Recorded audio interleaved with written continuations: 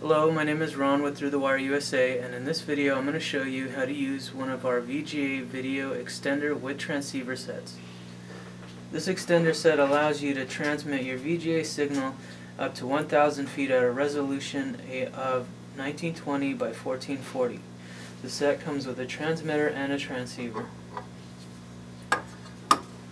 On the transmitter we have a input here to connect your PC or computer and a local output to uh, view uh, the signal locally. On the other side we have a networking cable port here. This is the output. You would connect uh, your networking cable from the output to the input on the transceiver. There is also an output here uh, for daisy chaining. And now the first thing I'll do is I'll connect the transmitter to the power and then the VGA cable coming from the PC to the VGA input on the transmitter. I have here uh, a 500 foot UTP cable and I'll connect the UTP cable to the output on the transmitter. Now on the transceiver I'll connect the power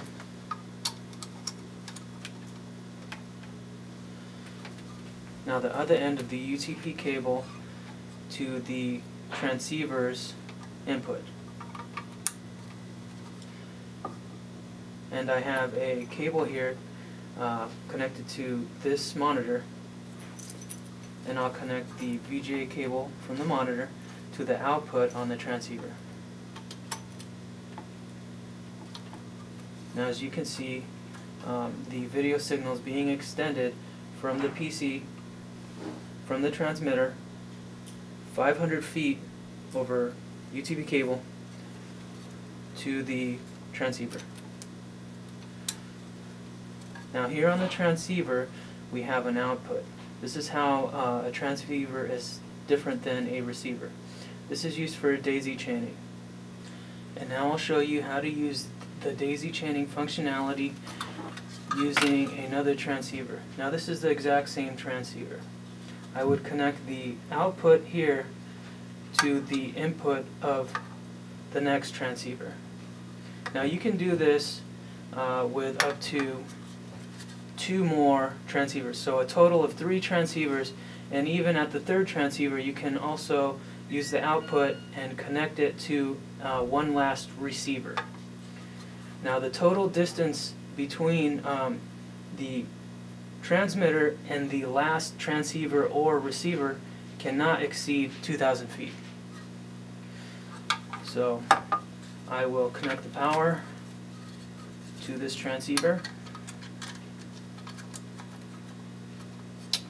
And I do have another 300 foot networking UTP cable that I will connect to the first transceiver output I'll then connect it to the uh, second uh, transceiver's input. And uh, I'll turn on the, the second monitor.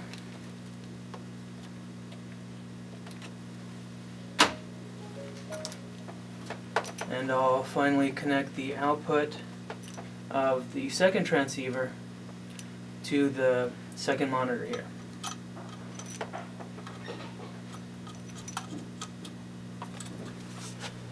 Now as you can see both monitors are displaying at the same video quality. For more information about this product or to make a purchase, please click the link in the description.